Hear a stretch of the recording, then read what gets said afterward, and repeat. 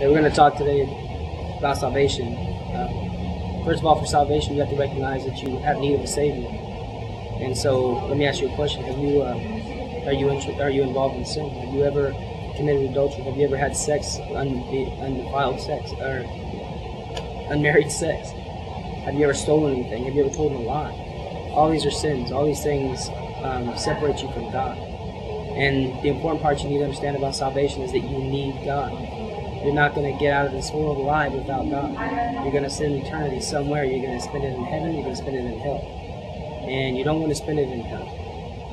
You think your life may be hell now. You think you may be going through hell right now. This is nothing. This is kitty land. This is what this is compared to what hell is going to be an eternal torment. Something that you really don't want to be involved in. You know, and I don't want to scare you. I don't want to, to do anything but encourage you to put your sin aside and to accept the life that Jesus Christ has for you. He has so many blessings in store for you. He has tremendous gifts and, and, and he has tremendous blessings that he has waiting for you right now. That he has, Bible tells us that that, um, that he knew us before that we were conceived in our mother's womb, and that he planned out every step of our lives. Now it's our obligation to, to decide whether we're going to stay to that plan or we're going to veer off.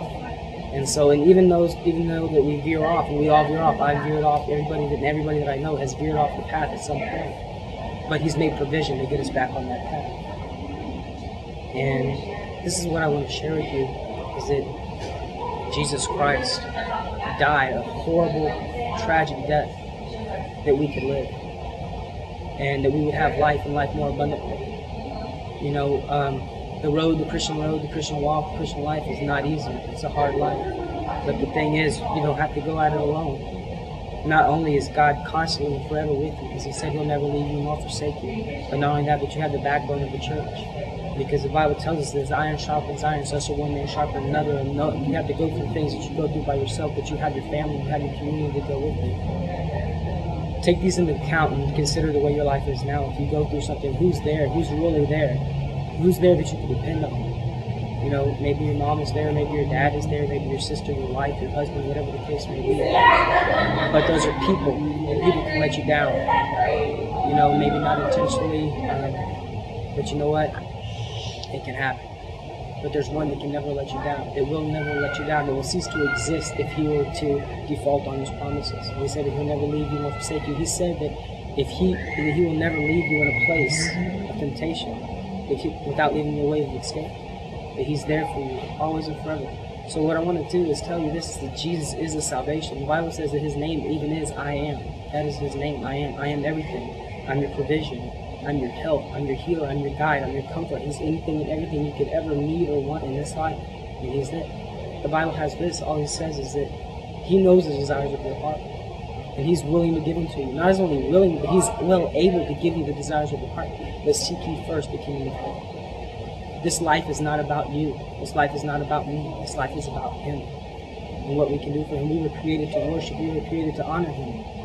So put your eyes, put your focus upon the Lord, and any and every care that you have, He will He will satisfy. He will take care of. And what I mean, come on, how good can we take care of anything? How well can we take care of anything compared to God, who created the universe, who created everything? I want to ask you to take, to take Jesus into your heart right now, to accept Him as your Lord and as your Savior. And let me tell you, Lord first. Make Him Lord of your life first. You know, everybody wants a Savior, but it takes it takes commitment to make Him the Lord.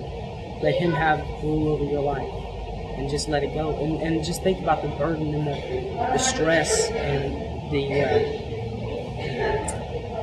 that you'll have that you'll be releasing when you let God take care of your life. You know, you don't have to worry about anything anymore. You don't have to worry about what you're going to eat or what you're going to wear. You don't have to worry about where your bills are going to, how your bills are going to be paid or, or any of those things, because God's got that in hand as long as you have your His kingdom in mind. So keep that in mind, and uh, you know, right now I just want to pray with you. So let's uh, let's bow our eyes. Let, let's close our eyes and just envision for a minute that you're standing before the throne room of God.